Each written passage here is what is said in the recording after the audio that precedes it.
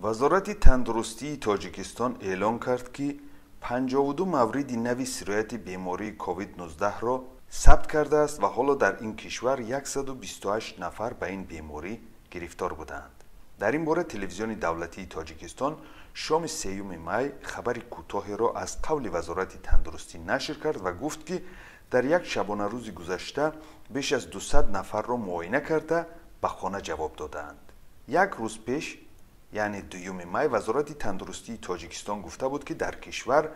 беморӣ ба 76 нафар сироят кардаву ду нафар бар асари сирояти ин беморӣ вафот кардаанд